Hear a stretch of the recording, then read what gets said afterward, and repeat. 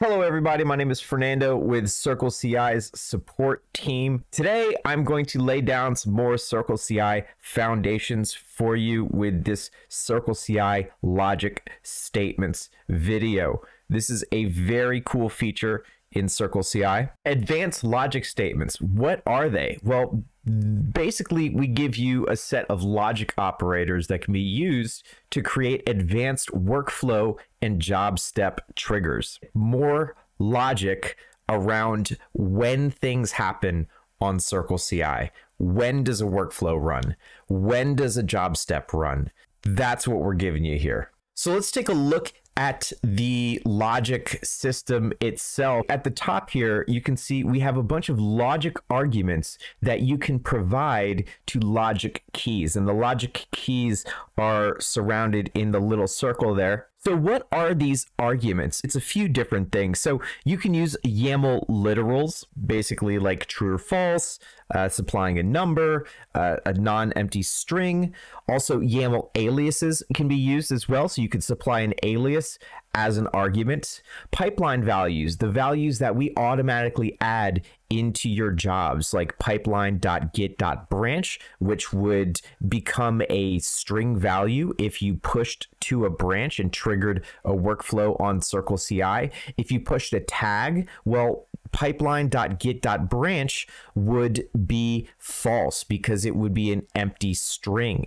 So you can use these pipeline values as arguments. Also, you can define your own arguments, these pipeline parameters that we let you define in your config. So maybe you have a parameter that you've defined called my parameter, and it could be set as default to false, but it's possible to set it to true.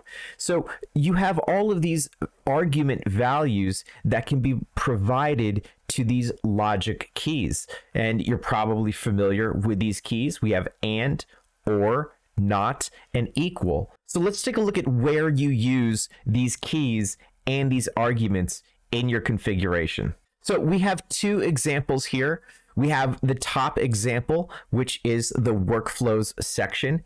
In your workflow, you can supply a key called when, and that will allow you to enter in one of the values or one of the logic keys to create an advanced logic trigger. Then we have the bottom example, which is inside of a job declaration within the step section. So we have a step called when. And this when step also has two keys you need to supply it. The first one is the condition, and that is where you will actually supply the logic keys and values.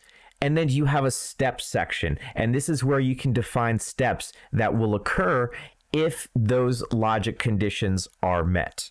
So let's take a look at a specific example here. So with the AND key, all of the conditions passed into it must return true. We have pipeline.git.branch and it must be equal to main. And we're also supplying a pipeline parameter value directly to it. And you get to define the types for your own parameters. So in this case, it's probably a true or a false value. And both of those must be true in order for this workflow to run.